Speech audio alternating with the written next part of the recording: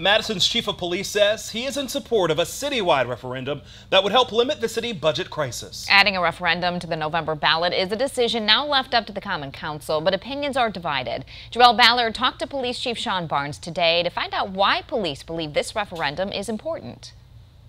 You won't see the type of policing in Madison that Madison deserves and that Madison requires and expects. Madison has faced challenges in raising property taxes due to state imposed limits. As a result, the city now needs to make budget cuts to address its financial shortfall. There's nowhere to cut that's not going to have an immediate effect on the services that we provide. Police Chief Barnes tells me he's unhappy that tough decisions are needed, but without a referendum, cuts may be unavoidable. This is a stressful time for our employees.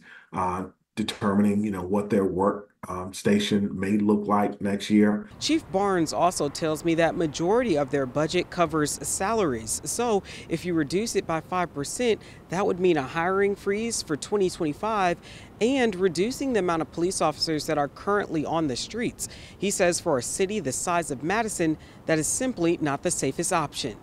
Others argued during the Common Council meeting on Tuesday that the city has an obsessive spending problem and should look to reallocate funds before increasing the property tax.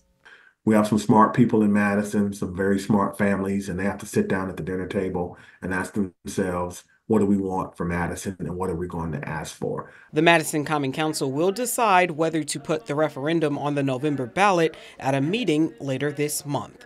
Reporting in Madison, Jerrell Ballard, 27 News.